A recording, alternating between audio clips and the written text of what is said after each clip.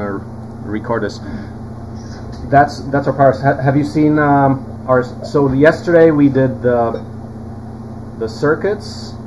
We actually ended up get, getting good success on being able to uh, use a regular sharpie and do the acid bath. That we after some trials we got that really nice actually. Um, if you look at the OSE Workshops Facebook page, there's actually good documentation there of us with the Klondike bars uh, printing out. Yeah, in the room. Oh, we've got the the motor with the spindle. We've got a little battery holder that you can see. Uh, I just posted the battery holder that we're printing out right now. It's not there. Uh, I got to reprint it. Um, but if you take a look at that, you can see the last last post is that's post etching, so it's really good. So that's the Power Electronics Arduino circuit, and then well next to last post, and then the last post is the battery holder. I just posted that up, um, so you can take a look at that.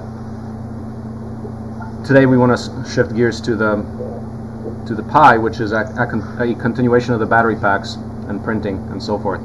Um, let's see. Do you guys have any any uh, other questions? So on powering it, um, yeah, I would say easiest accessible thing is if you have a battery lying around or any 12 volt battery.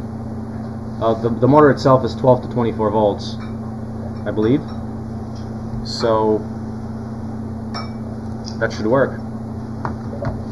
Perfect. So the uh, the uh, on the RAM split, the, the five amp is what, what we have powered right now. The other one, the other bus has uh, up to 11 amp potential. That that's just um, we would need a bigger.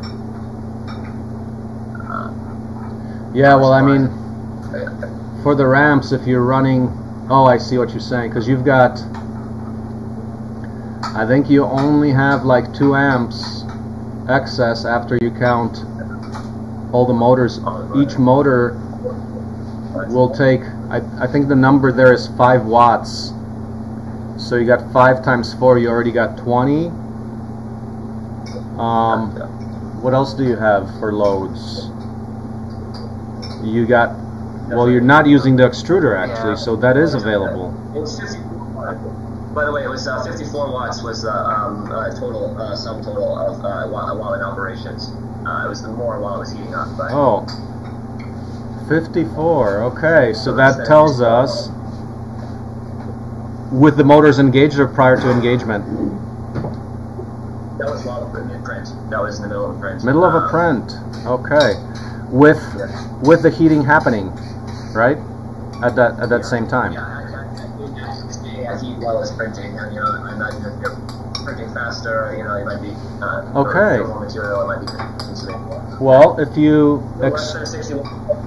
ex- less than 61. Yeah. Okay, that's really good. So that means that if the heater is taking 40 watts, which is what it's supposed to do, you're like 10 to 20 watts on your power supply, so you have an excess of 80. Well, that may just be enough for your motor.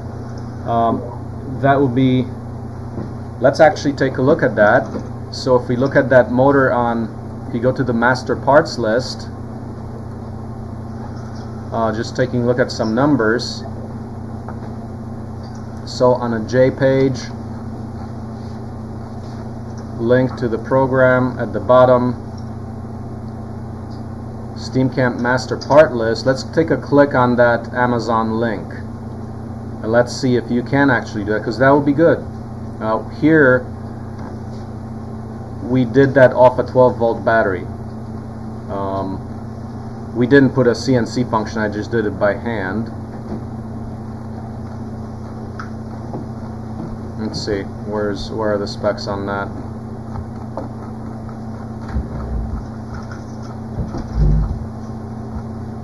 Five five five motor, okay, Amazon Smile link. The numbers there say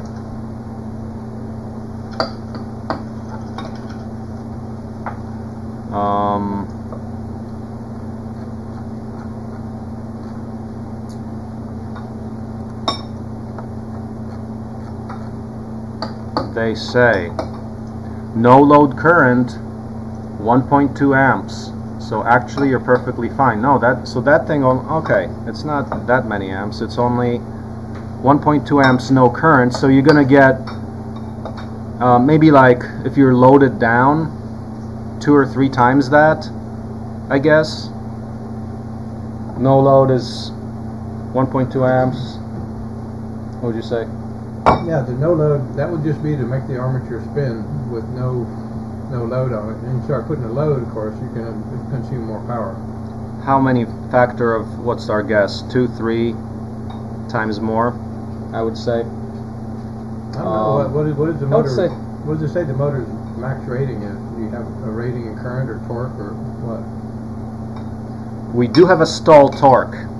Ah, that's where you can get into. There's uh, on the wiki. There's a page called Motor Calculations. You can actually calculate from the torque how much power you're using for a given RPM. Yeah, It's a little. Uh, um, I'm not sure we need to get into that right now. What, 470 watts per horsepower, something like that? Uh, you can Google a torque. Right. The but there's a conversion between torque and uh, actual wattage based on. So I think there's a page called Motor Calculator on electric motor calculator on the wiki. No. Let's see, electric motor calculator. I, I put it on there somewhere.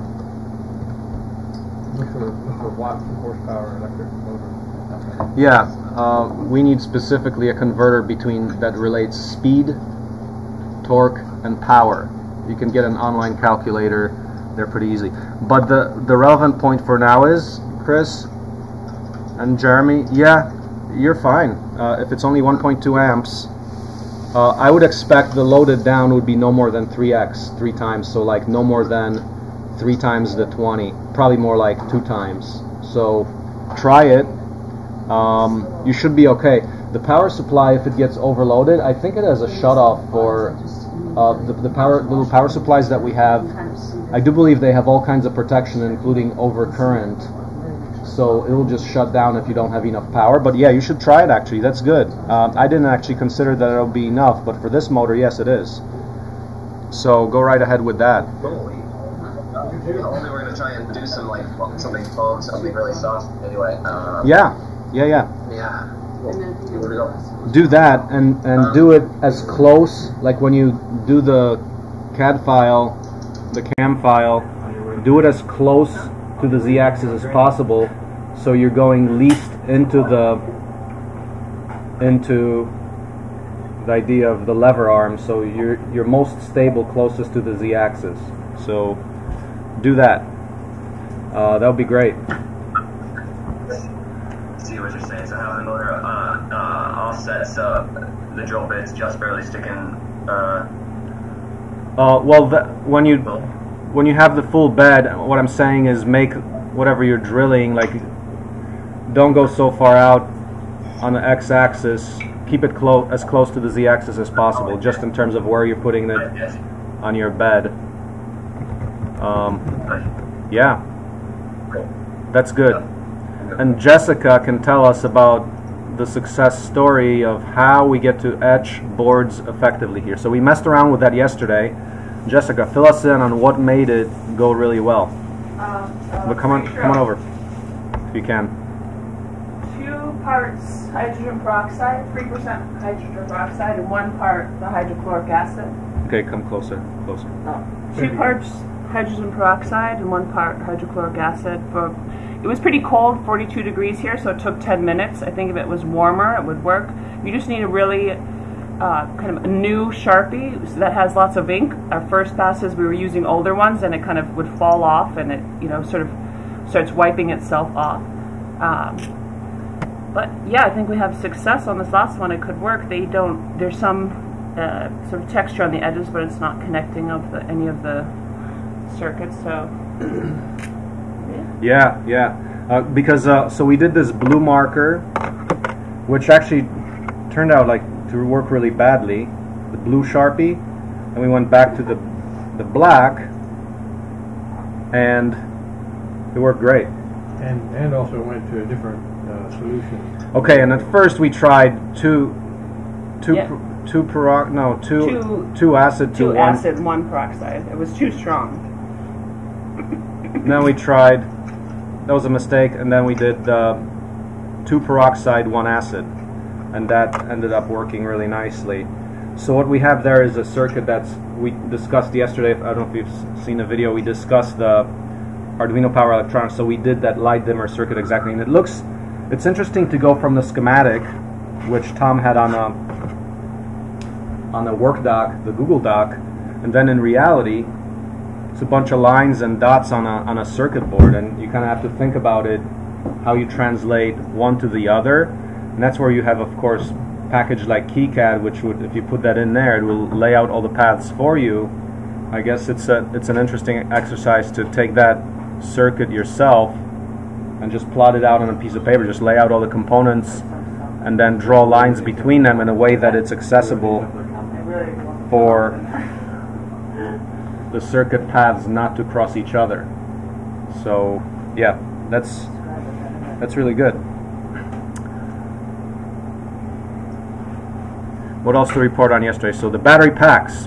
Um, look at the Facebook page. I'm going to put the link up there to that. But the idea right now is on the Facebook page, go scroll down to um, actually nine hours ago toward battery packs. So you see one unit battery pack with a 3D printed casing and two bolts, Frankenstein bolts on the two ends. So here's the problem statement.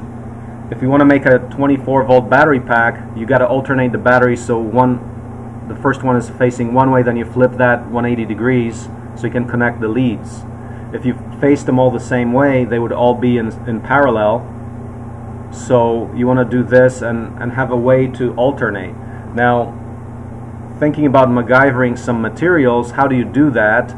Well, we have access to wire, like say fence wire or welding wire around here, uh, and you have wire in your kits. But here what we can do is if, if we stack multiples of these next to each other, you can make external connections. So, me just post this one up. You have the Frankenstein bolts. Hey, we can take, if we take this, which is just a generic holder for a battery, and you you you have a five-fold pack of that. So that's the CAD, CAM file, the 3D printing file in the last post. But the cool thing is you can actually connect them in series or parallel depending on how you wire the wires to the to the bolts there. And once again, we're using our six millimeter bolts from the overall system, just like in the terminal. So we're doing this this low part count kind of a construction set thing. Uh, and of course, we can refine this so it's a really nice plug and play system with a power panel that we discussed a little bit yesterday and everything else. Um, so, say you have two of them next to each other. Uh, if two or three next to each other, take take three of them. So, so the second one, if you flip around 180 degrees, and the third one, you also flip around 180 degrees from the former one. If you connect the, the adjacent bolts, then you get the alternating pattern where you're stacking the voltage to in, in series. If you don't flip the batteries, they're all the same direction, and you connect all the pegs, then you've just connected them all in, in parallel. Does that make sense? So interestingly, this simple battery holder, it's just something, drew that up yesterday thinking, okay, how do we make the contacts? Because the challenge here was, I ended up with just going with the screws, because we know the screws are going to guarantee excellent contact. They are conductors, and they can clamp down as much as you like. So the other alternative is okay, maybe like put some metal strip at the bottom and at the top. Well, there's a little issue. Unless there's a there's a nipple like sticking into the battery, like those are flat top batteries. They do not have like the pointed battery top. So to make a contact, if you use flat material like a flat bus bar, is challenging because the the metal of the batteries is just flat with the battery itself. So you're not guaranteed good contact. So we'd have to figure something out, basically spring-like elements. So I was thinking, okay, let's just take a piece of uh, metal rod, metal rod, and wrap wrap wire around it. You can make a spring. You can do that. So then you'd have to fit that spring and all that. A lot of complication, a lot of potential for uh, loose connections. Yeah, you can do that. That's you know we might make this more complicated. But here we're using like two parts: the plastic and a bolt, and there you go with the connections. And then you have wire that's external to it. Then now gets you the flexibility of instead of doing that those spring-loaded connections, which you can only really do like one way in an easy way. Um, so here we have the ability to, to wire parallel or series externally. And now the, the one more point about it is you've got, I mean, the Frankenstein bolts, they're exposed connectors. So you don't want to have that. So another design requirement is this thing is safe. You, if you touch something, you're not going to short circuit things. So what you might want to do here is put a cap, like if you have the battery holder, print another piece, a cap, that covers all the bolts. So maybe have like a snap-in cap, and then you, you've now covered it, and you've got this very nice, uh, very simple kind of a design. Now just, I mean, square square things. Um, look at the the last post on uh, Facebook to, to see the detail. This could work, so we can put this up into 24 volts uh, for the welder application. We did not get to the welder. We were playing with the batteries, uh, trying to charge them. We were um, How many amps? Is, how many amps is that going to throw? Minimum welder with a 16th inch rod will work starting at 20 amps. These batteries are capable of doing that. They're rated for continuous 15 and then higher for shorter times. So So you can do like five minutes of yeah, welding off of these. you have to use like 22 gauge extension cord wire to Yeah, you got to wrap. that, pull that around. Couldn't just use any wire, otherwise. You have to use wire gauge sufficient to hold 20 amps. Uh, the ratings on that means minimally 14 gauge, like household wire, which is going to get hot. You want to get you probably you want to use 12 or 10 gauge. 12 is rated for uh, 20 amps continuous.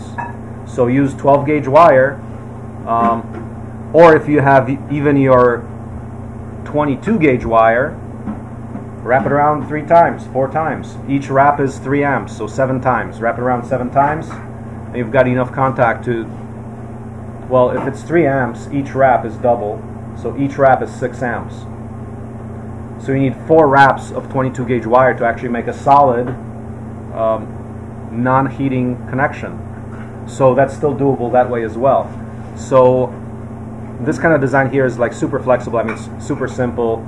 Uh, V0.01, and we can go from here. But this will do for holding our battery uh, in an easy way for the welder application. Now, yesterday also we worked with. If you look at Don, did you put your rod holder on your log yet, or?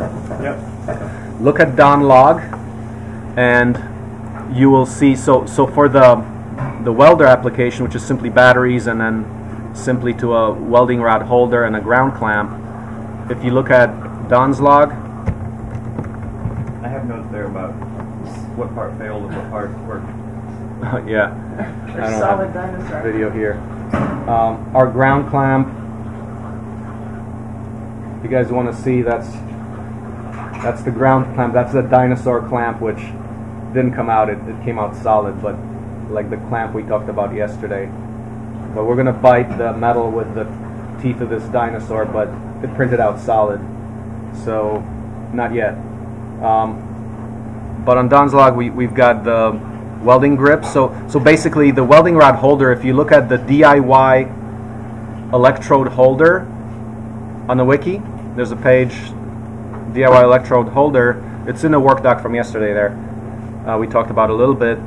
Uh, we 3D printed a, an end end to it basically the holder where you you grab the the piece of EMT the piece of the tubing this allows you to grab it and then also attach the the wire to it. So you download the welding grip, um, here's my battery pack. Here's here's the welding grip. So you download that from Don Log. Open it up.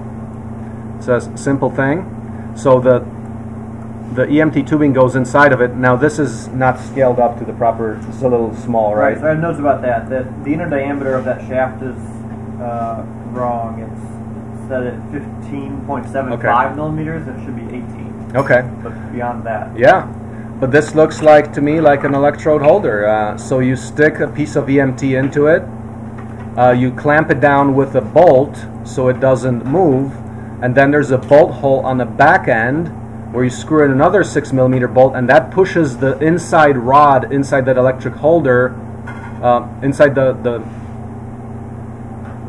There's a metal rod inside the EMT. You push the metal rod, and that presses against the the welding electrode.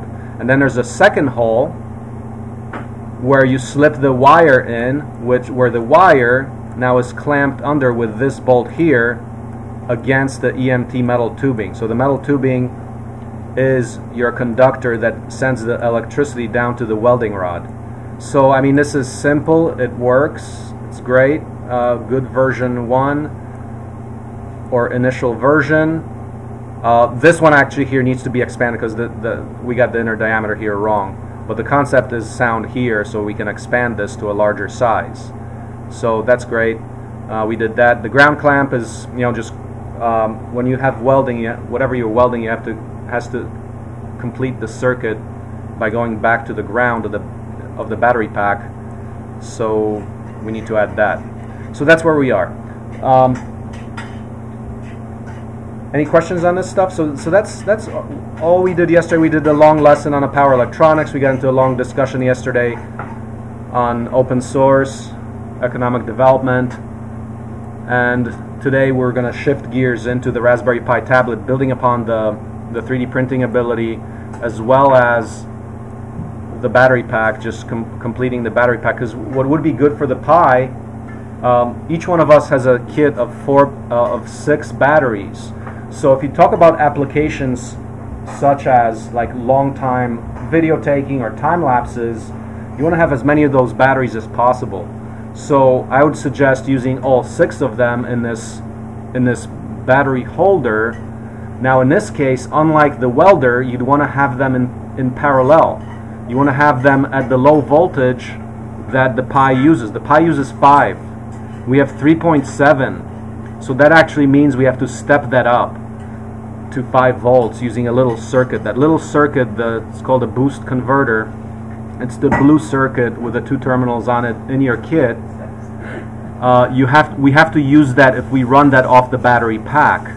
So for the Pi tablet, we have a power cord in the kit, but we also have the ability to do to do the onboard battery pack.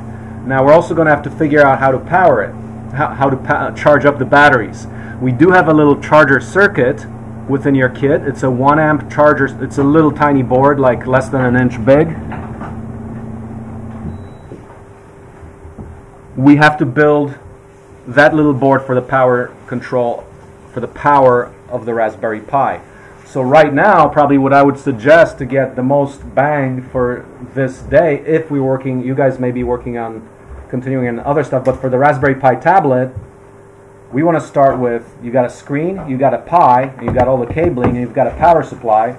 Let's turn it on, download Raspbian, the operating system for Raspberry Pi, and install it.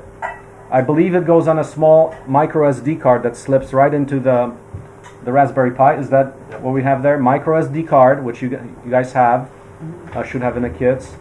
Um, slip that into the Raspberry Pi, and go through the procedure, uh, Google it, see what see what it is. You can download the system operating system, so we can basically get our working computer with with touchscreen pretty immediately. So it takes it takes downloading the operating system. Takes um, I don't know how long it takes to install, like five minutes or so, or uh, not sure about that. Uh, five minutes to an hour, I don't I'm not sure.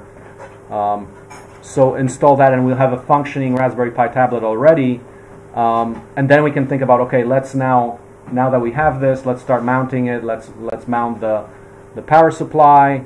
You know, and make the Raspberry Pi such that you can make all the connections into it from the back. So we have to figure out how to mount everything in, in a plastic case, which we can 3D print, uh, possibly 4D print in terms of uh, printing stuff on a on a 3D printer that's in bent in a bent shape, so you can unfold it with a heat gun. Uh, so that's that's what we can do. So the first step is let's get those. Um, if we're working on that on a Pi, we can get those parts out, connect them all and install the operating system. So you'll see that whole process of installing. I don't know how many of you have installed systems, but that's a fun process. You're basically taking a blank slate, and the point is you can choose any kind of operating system. There's Raspbian, there's some other ones. I don't know what, exactly what they are. Mint, CentOS. There's is there like a small small Ubuntu for Raspberry Pi? I mean, no.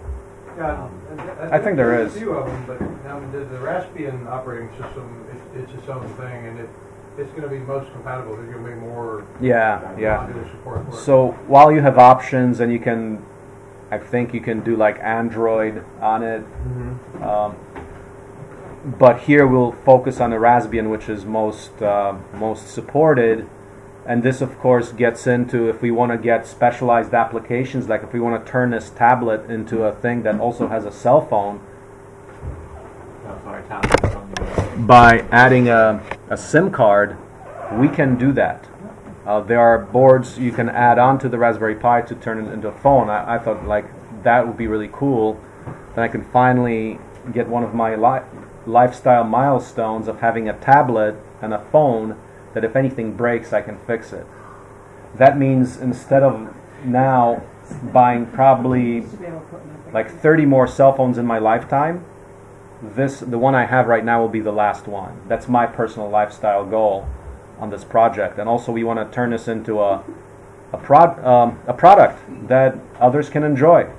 Anyone who ca- really cares about closed loop manufacturing and the circular economy, uh, anyone in that audience should be quite interested in a modular phone that you can now maintain and upgrade for the rest of your life. So things like I mean the touch screen that can live for a long time um, as long as it's supported. The the Pi 4 it's got 4 gig of RAM. It's a decent decent computer a microprocessor. Um, in the future like you can like if you put simple software like if we want to take Raspbian and strip it down or maybe make a custom super lightweight version we can do that so it doesn't have too much overhead or dead weight on it. Uh, those are all kinds of things you can think about so we can involve people who are into programming. Um, I mean, all kinds of applications, all kinds of add ons, such as Internet of Things monitoring, running print clusters, doing just about anything. Like, I, I would like to see the tablet where I'm using the tablet and it's got my BrickPress software on it. So I say, run BrickPress, and then you can turn it on, uh, communicating to the DIY Arduino that we put on a brick press itself using a little uh, Wi-Fi module, which all these pieces are now accessible for like a dollar or a few dollars. So um, we can control the various machines. You can also think about autonomous vehicles that Tom here wants to weed his garden. He's got his Raspberry Pi. He's okay, go at it. Um, for the robotic weeder and things like that. Um, so yeah, the Raspberry Pi is quite powerful. It's um, what is that? A like 1.2 gigahertz is it? Something like that. I think That's it's four, four pretty- cores now too. Four Yeah. core 1.2 gigahertz. Now that's pretty pretty powerful. Yeah. So you can do just about anything with it. Um, so that's my vision. Like, you know, I can do my all the stuff I do my cell phone right now. I can pretty much get rid of it, and then we can. Our goal here is actually we've got the components for the. Uh, we've got a LED chip and a driver for it. We've got the ca- camera module, so we can do those things uh, with the motor that we have. Uh, the the possibility there would be the little 555 motor, 3D print a gear down and create a slider for the camera uh, things like that. So, so there's a lot of different things we can play with, and uh, I would say for the first day, let's get it, get up uh, the Raspbian uploaded, and run it, and start playing with it, and then start thinking about okay, what do we do for the case? How do we want to design it? And the, so the first thing to coordinate all of this, let's build with each other. Let's coordinate that. So on a, once again on a J page, we have the part library. So that's back at the very the logistics section there. Part library for the Raspberry Pi tablet. You click on that, and it's just seated. It doesn't have any of the Raspberry Pi stuff yet because we didn't draw anything yet. But right now, I would add my battery pack as a starter battery form factor for the tablet. We can build around it and and just keep iterating and and we should coordinate by the, the 60 second rule. As soon as you've got something, uh, uh, put it up into the internet. For my battery pack, I did not have internet where I was working there in the workshop, so I, I couldn't do it. I'll do that now. But as soon as you have it, upload it so that in real time you can see, like you hit refresh, and other, you know, you can see this part library growing, or or the version histories. Like if you click on each, for example, if you click on uh, So you any file. Hmm? I just wanted, can you can I see how you put it up there as you're working? Oh yeah, so so I'm recording this. So so the part library we've got once again from the J page, we've got a link at the logistics section. Click on the part library for the Raspberry Pi tablet, and we have a, just a started part library. That's that's not the Pi tablet; it's the printer. But I just seeded that. So at the top you have just images of the evolution of this. Like if you do some new design, like post it up there. So visually, uh, a person has a clue that a new thing has happened and then because I mean you can see that by clicking on all the different individual files which are right under the gallery but you see that each each file has a whole version history already will have a version history but for you to parse a large team collaborate collaborative effort you can see in seconds that somebody has added a new part to the library Otherwise, you would have to go like, say we got 20, 30, 40 modules at the end of the day. I mean, you'd have to click on each one and have 40 tabs open to see what's what's happening. That's why we we're suggesting this simple mechanism of of a visual picture. So so do a? So if you click edit, you see how it looks up on top before the gallery. So the gallery is the gallery part here, uh, where you put in the syntaxes like you see in edit mode. But up there, do a file uh, that's a picture, a PNG, JPG, and then do 100px, 100 pixels. So that's a small little screenshot. And when you generate those those little pictures, what I typically do is I go into into GIMP and take any screenshot, just reduce it down to like 20k, because this is going to start eating up memory. Don't put like a megabyte file for your little tiny screenshot. Uh, that's eating up a lot of bandwidth there, uh, or memory. Like it's not scalable. If I mean, we're, we're gonna have to get larger servers quick if, if everybody did a one meg file up there. Reduce that 50 times to like 20k within GIMP. Uh, 20k is perfectly fine to see all the detail in there. So then you got the gallery per row equals six. You you put in the format there is you you start with the JPG the, the image file. You put a vertical slash. Then you can put whatever you want there for descriptors. In the descriptor, we we put in uh, you absolutely want your FreeCAD file. What's also useful is you want your STL file for printing. Make it easy for the next person. Yes, they can download the FreeCAD file and generate the STL file, but if you've got the STL, upload it so the next person doesn't have to go through that process. Save them 30 seconds or a minute as we're collaborating. Those, that kind of time adds up. So you want to have the FreeCAD file, the STL file. You might want to put some links to spec sheets or anything like that. You can do that within the gallery. Um, when when you in the view mode, you can see all those parts in a in a part library, uh, including assets like the files, any links.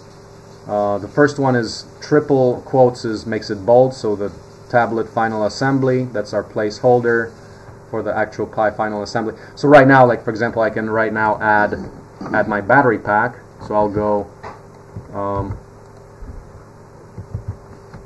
file 5batpack.png.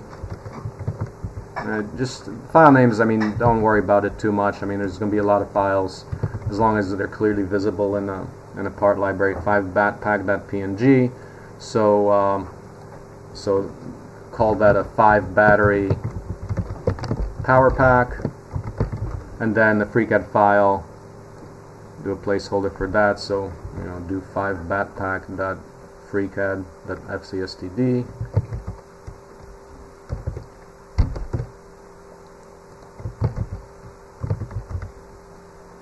and only tricky thing is how do you how do you there is no you can't click when you click save changes the only trick is you can't click on that 5 batpack.png you have to upload it separately. You can use the upload file thing. Now good thing about the FreeCAD upload yes there is a placeholder right there. You can click on it and you can just upload the file. So that makes it easy. So you choose the file and upload it. For the for the actual image that goes in there in the library, you just have to upload it elsewhere. So what I do actually is um, one way is you can do the upload file, but what I do is I would do uh, the 5 bat pack PNG in a visual version history, the little pictures on top. So I would do 5 um, 5 batpack.png up there and now there is a clickable placeholder for that. So now I click on that 100px there uh, and now I can upload the 5batpack.png which will then appear in a second placeholder here on the wiki. So I'm at the part library for the Raspberry Pi tablet. People remote, you can refresh that page to see what I've just done. Uh, so that's the way. So this is like the as far as coordinating all the process. We we want to have this part library page. We can set uh, continue communicating on that page, putting down notes and comments and links, and we can check in later to see what's happening. Um, so I think with that we should go and build a tablet, which is really exciting. Because right now we'll have we'll have the basic functionality. Like, in fact, we can walk or go to the airport and actually use it.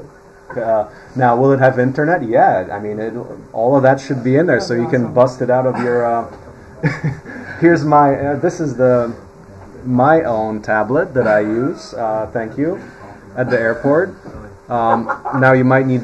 So so Jessica actually leaving today, so she's gonna have that. But you can go to in the airport. Take a picture. You know. I will.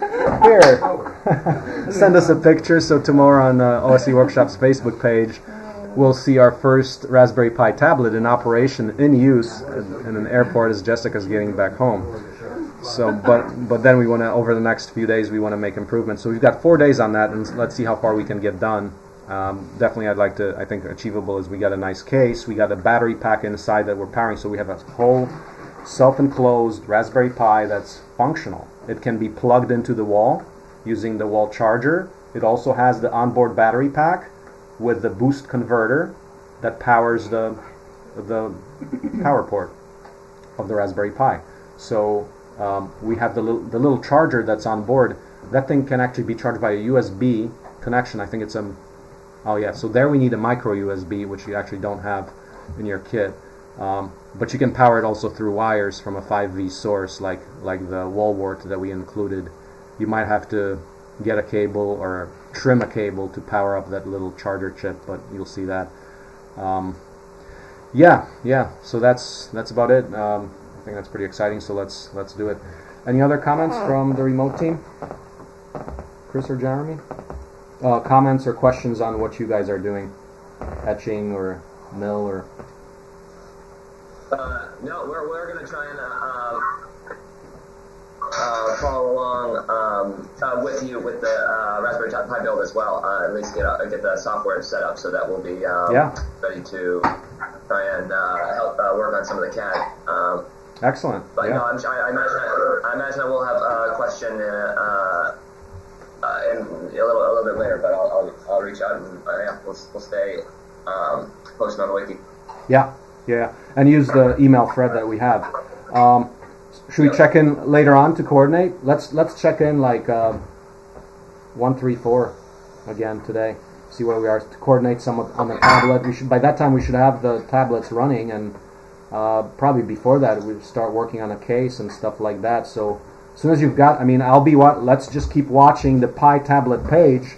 As soon as you have anything, even like okay, here's a simple version don't be afraid to to make multiple multiple forks of the same like say uh, you're excited about one you know jeremy you want to do one version of the simple uh, case just put it up uh, we can combine that stuff later but just get everything up there you don't necessarily have to wait for say chris to get his design because maybe we want to just like try two different paths that we're working in parallel and then we can combine that later.